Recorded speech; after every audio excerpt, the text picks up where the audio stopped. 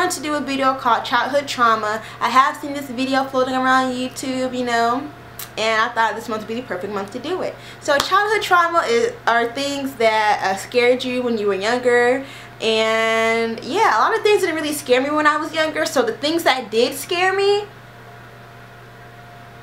I think are scary so yeah. So we're gonna get into the video so hopefully it won't take 300,000 years for me to record it. So thank you for watching. Oh also if any of these things scare you please be sure to leave it down below. Go to drop a like if any of the things I mentioned scare you as well. And yeah we're gonna get into the video for the second time. All right thanks for watching. So the first thing that I want to mention is a very popular show from the late 80s early 90s called Tales from the Trip Trip Tales from the Trip Tales from the Crypt. So to focus on the, the, the theme song. The freaking theme song was off the hook. So now I can appreciate it as I'm older now because it was very well composed and it just fit the theme of the show. It was a creepy show. You had a creepy little skeleton, Skeletor man hosting the show. So yeah, as the theme song plays, you go through a gate and you see, you go through the Crypt Keeper's yard, you go through his house. And by the way, he has a tire swing, which I don't know why he got a tire swing. I wouldn't be swinging on that tire swing because look at that house. Look at that tree. No. So you have to go through the gate, you have to go through the yard, you go through the house, you're looking around trying to figure out how to get to the Crypt Keeper's lair. So as you're going through the house, the music gets more scary and upbeat and it just it gets the music gets more intense. So as you get down to the lair, the music sort sort of softens and it drowns out. Sounds a little bit something like this.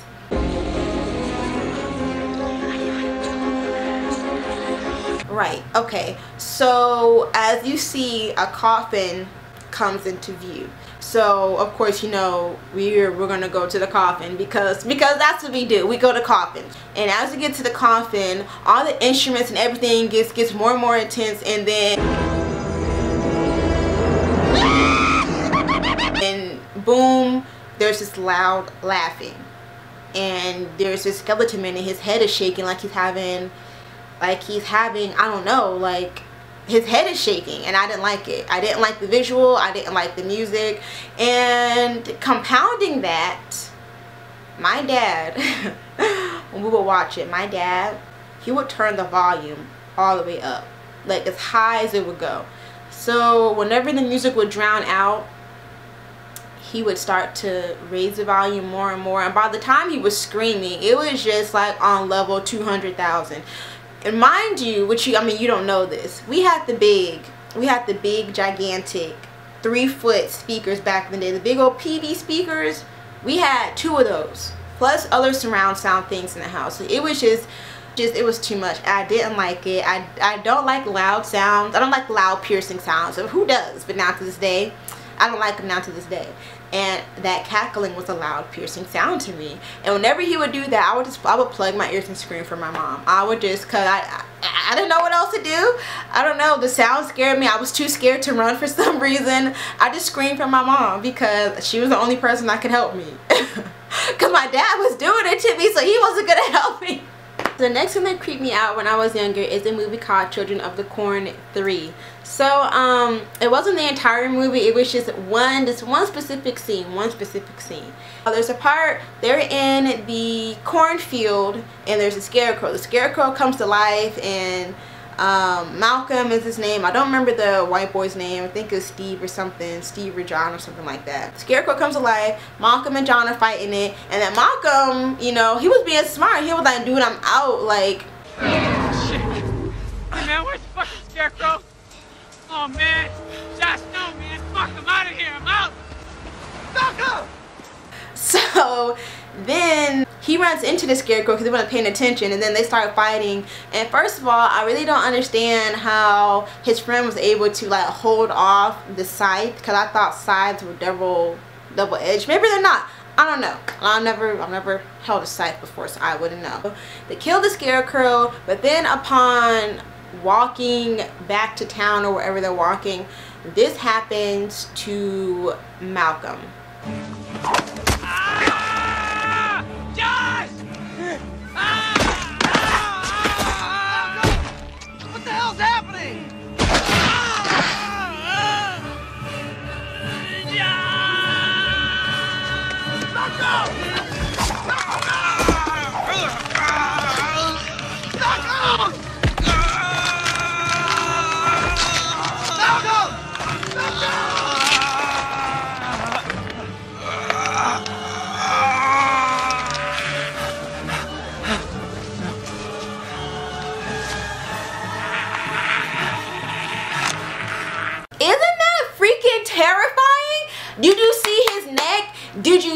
His neck?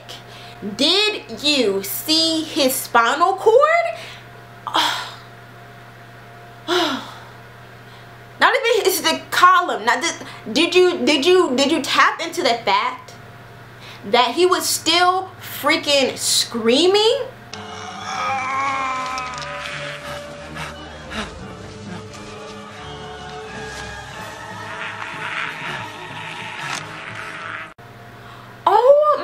Goodness, that used to freaking have me so jacked up when I was younger. He was still screaming and his head was rotating like like a freaking I don't know, a sign or something. And then his spinal cord is like, it looks like it's like 20 feet long. Like, like, sir, why does it look like your freaking vertebrae are 20 feet long? Like, I know you're tall, but, and then, he was still freaking screaming. Like, ah!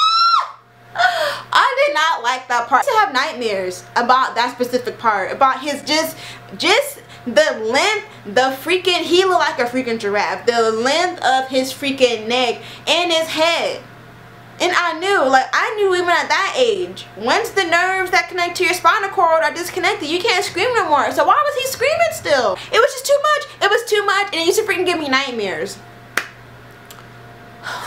I didn't like it.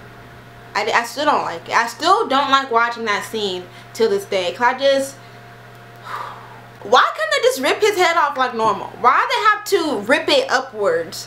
Why? I'm sorry for yelling and screaming, but...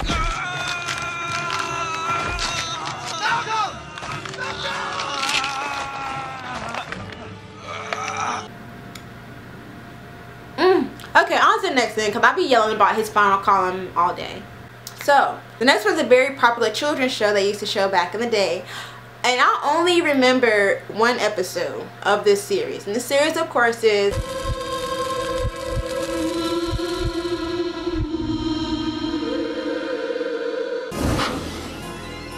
Tale, the dead man's float. It's about a freaking I tried to explain it to my sister a few years ago about it being a meaty skeleton and she just bust out laughing at me because all I can remember is it was a red skeleton with stuff on it and I thought it was flesh and meat. So the story starts back in 1954. There is a little boy right there swimming as you can see and the lifeguard is in the back trying to get into the little boy's sister's drawers pretty much. She's kissing her up and slobbing her down all that good stuff like that there. So the pool that he is swimming in was built of course on a freaking cursed cemetery ground or something like that. So when the boy started swimming, the spirit was tight because obviously he didn't want nobody in his pool. So then he started drowning the little boy. So then of course the lifeguard wants to pay attention and do his actual job, but by then it's too late. The little boy has drowned. So after three occurrences like that, the school closed the pool. Time fast forwarded about 30 years, so this is like 40 years, so maybe around like 1994. This episode came out in 1995, so let's just say it's present in 1995. So in 1995, um, it's showing you this boy in the science class and he's doing his volcano and he's the main character. He's a little geeky boy or whatever and his name is Zeke. So um, Zeke is scared of water. He wants to know how to swim. And there's this girl on the swim team he likes named Clarice. So of course Zeke was like, boom, you know, you know, I'll teach you chemistry and you can teach me how to swim. So that's how they got together pretty much. But first I have to do this freaking crazy math lesson that my instructor assigned me. I have to calculate the entire dimensions of the school. Oh, look what I found. I found a pool. So boom. He showed Clarice the pool so now she's like, oh, well, you know, I'm going to get them to open the pool because that's what I do. So guess what? Of course, she gets the pool open and I just want to know what she said because I need to know so I can get everything I want in life. And they start swimming in the pool and they're smelling this sulfur, they're smelling bad chemicals, and of course, you know, it's old dude from back in the day trying to get some more victims because he's lonely in the bottom of his pool. So Zeke and Clarissa are at the first swimming lesson and she's trying to get Zeke acclimated to the water. So, you know, she's telling him, put your hand in the water and he's acting all shy or whatever because he's not going to put his hand in the water if you know what I mean. But anyway, so she jumps in the water to show him there's nothing to be scared of. But then something pulls her up under the water. But then her it's her little jealous friend Gretchen's, you know, Clarice is all tight like Gretchen, you're such a bee you know why you do that you know that's not my time i know you're jealous you're jealous because i got your dude but just gotta get over it then she tells him, you know, nothing to be scared of. Go ahead and put your hand in the water. So he puts his hand in the water, and then something pulls him in the water. So then he's tight and freaking out, and everyone's freaking out. And everybody's all scared. So then something start, then something starts knocking a little inflatable boat, which I don't even know why they have that anyway. But anyway, they got the inflatable boat. Something tips them over. So now um, the janitor comes to the rescue, and you're like, what the heck is the janitor doing? So apparently they didn't fire the janitor after he let all those kids drown because the janitor was a lifeguard back in the day. Even though he wasn't doing his job, they kept him around. He has a different job now, thank goodness. But they still have him around. So he pulls them out of the water and then he explains to them, you know, in the locker room, boom, uh, before there was even a pool there was a burial ground and you know i was too busy trying to get my knob slobbed on. So you know i wasn't paying attention and three people drowned so that's what happened. So um zeke since he is such a chemistry whiz he has the idea to throw some chemicals on the on the ghost because he smells like sulfur so he gets a chemical to react to the sulfur to turn him into a color that's going to make him visible which is like diethyl red or something he pours on him. So then they pour the stuff on in the water and then this freaking scary mofo emerges from the water. Like, what is this? What is this? Your show is for children. Are you freaking kidding me? He's juicy. No, I was done. And I couldn't swim that well when I was younger too. And I was like, okay, but what if something pulls me under the water? You know, is this red juicy thing going to be at every freaking swimming pool that's built over burial grounds? Because people die everywhere. So, people died at the pool before like before it was even a pool so is, is stuff gonna be freaking taking me under the water? Like dude no. So so charlie's scared with fear. They go to the locker room to try to collect themselves and then boom. We can't leave charlie with that thing. Um excuse me we can and we are leaving him in there because i'm not going to get him. You go get him. So then Clarice got the idea like oh right What's your recipe? Mixed water with manganite and kaboom. Lava surprise? My volcano. That's brilliant. No. Why'd you do that? There's moisture on your hands. It'll burn you. I would have slapped him. Like, first of all, don't be slapping things out of my hands. Second of all, I don't care if you were trying to save my hands. I would have been fine. How are we gonna freaking kill this meaty monster? This freaking meat, red, meaty skeleton? Like, how? How are we gonna kill him? So then Zeke is too scared to go get the chemicals. So Clarice is like, you know, I'll I'll be the man. I'll go get it. I'll be the one man. I'll go get it. So she goes to get it, and then old dude turns into freaking red goo and starts going into the water. And so then old dude pops up. He's walking towards Clarice, and I don't know why she was frozen with fear. Dude, I would have freaking, I would have turned the dag off Michael Phelps. I would have been out, out of that freaking pool. So then she don't want to move. So then Zeke got to jump in. And then she would have had me tight. So now this daggone meaty monster coming after me because you didn't want to move? Nah, I'm tight. So Clarice gets out of the water. She gets the chemicals together. And then she throws it on him. And then old dude disappears. And it's the end of the show. And look. I couldn't swim that. Look. Look how this dude looks when he's dying. Like I can't believe this show was for children. Look at his face. Oh my gosh. Oh my gosh. Dude. Uh-uh.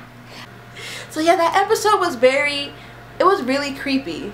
It was really well done, especially for kids. So that thing that scared me about Are You Afraid of the Dark? So next to last thing, there's the popular movie back that came out in 1985. I don't know if it was popular, but it came out in 1985. It was called Fright Night. Fright Night with Chris Sarandon and I can't remember the other characters. Just Chris Sarandon and that's all I remember. it's about vampires. So there is a, the vampire is Jerry Dandridge, then Charlie, he's a young teenage boy, and then you have Amy, uh, Amy is the object of Jerry Dandridge's affection. He wants Amy. He wants to make Amy, know, his eternal bae. But of course, Charlie don't want that because Amy is Charlie's girl. So, um, Charlie trying to get everyone around him to realize that Jerry Dandridge is a vampire. Of course, no one believes him. They think he's crazy. And he even gets a popular TV show uh, actor slash host. I am Peter Vincent vampire killer.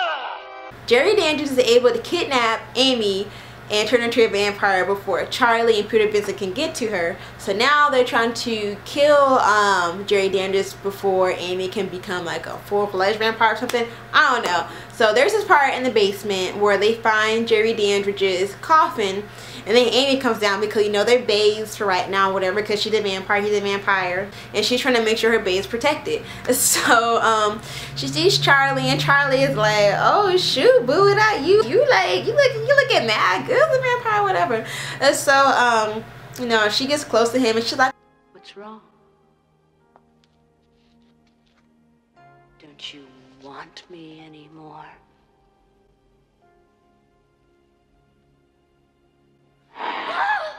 So then he's like, oh, you know, Amy, I'm sorry. You know, it's my fault. This freaking hoe gonna reveal her face to the camera and she gonna have the nerve to freaking look like this. Oh my gosh, if that did not freak me the heck out the first time I saw that, like, where are her lips? Why she have so many teeth? Probably was like, oh shoot, no, no, I'm good, you're good, we're good, all bets off. What's, what the bleep is wrong with your mouth? And I was just like imagining like, what if she was able to get hold of his neck? She would bite his neck clean off. There would be nothing, there'd be nothing. There would just be a head and the torso and the rest of the body. If she got freaking hold of his neck with that mouth, that would be the most extreme hickey ever. Her mouth was huge. There's so many, all the teeth were exposed. The molars, the canine, she didn't have any lips. And I didn't like that when I was younger. I did not like that when I was freaking younger. Alright, so the last thing on my childhood trauma list is this picture. Well, it's not a picture. Um, it's an object. But the object was wielded, was wielded by the person in this picture. And this is the person I'm talking about.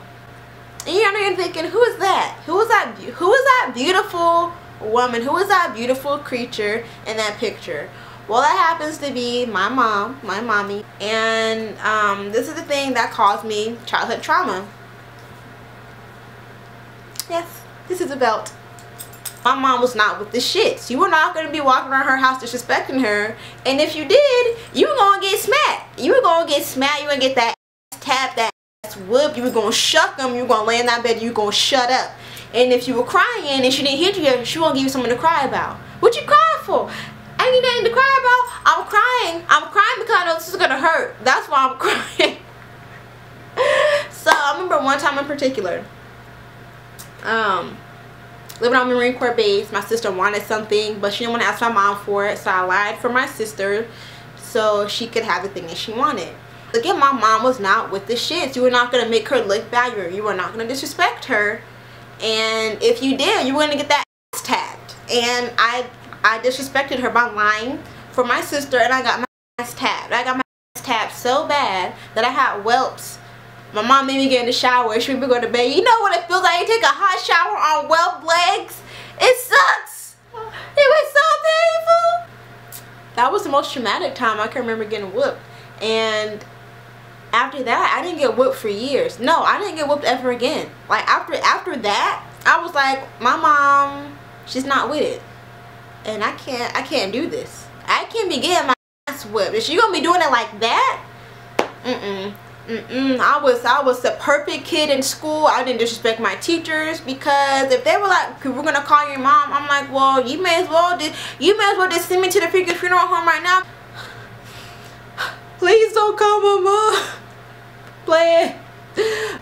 Uh, so yeah, that was my list of childhood traumas. I hope you enjoyed this childhood trauma episode. And please drop me a like. It really does help me out a lot. I really hope you enjoyed this video. Bye.